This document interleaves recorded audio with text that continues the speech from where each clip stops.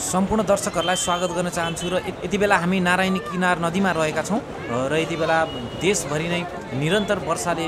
बाढीले निकै प्रभावित बनिराखेको बेलामा तपाईँहरूलाई हामीले यति बेला यो दृश्य देखाइरहेका छौँ र नारायणी नदीको पुलको पानीको भाग निकै माथिसम्म आइसकेको हामी देख्न सक्छौँ खतराको तह समेत पार गरिसकेको छ र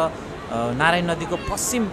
भेगमा बस्ने बस्तीहरू निकै जोखिममा परेको छ र बस्तीमा पानी पसेको छ र यो नारायण नदीको पश्चिमपट्टिको भाग गैँडाकोट नारायण नदीको छेउमा रहेका बस्तीहरूमा समेत पानी पस्न थालिसकेको छ र निरन्तर वर्षा भइराखेको छ र यो वर्षाका कारणले पानीको सतह निकै माथिसम्म आइसकेको छ र सबैलाई सतर्क भएर बस्नको लागि अनुरोध पनि गर्न चाहन्छौँ र नारायणी किनारको पश्चिमपट्टिको तर्फ गैँडाकोटतर्फ पनि पानीको बहाव त्यत्तिकै देख्न सक्छौँ। यो चितवनपट्टि पनि पानीको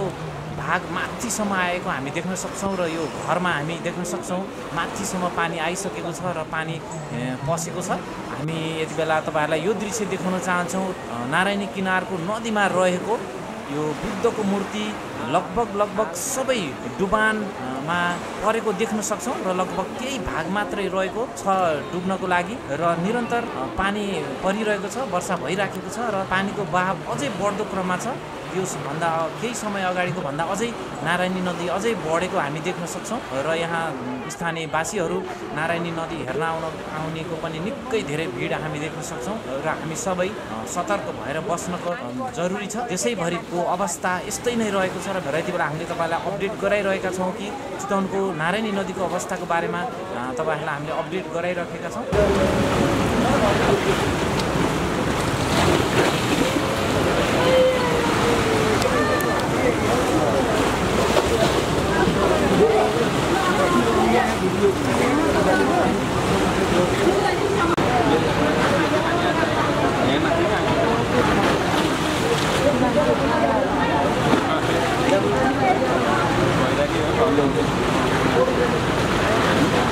Hãy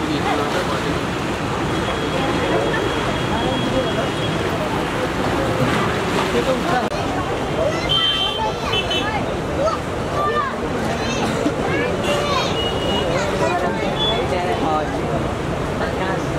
cho kênh Ghiền Mì Gõ Để không bỏ lỡ những video hấp dẫn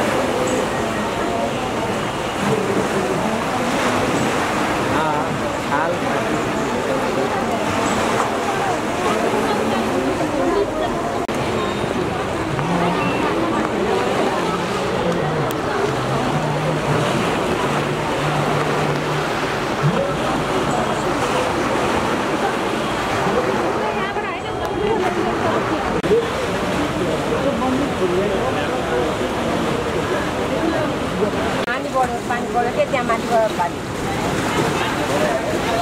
क्या अब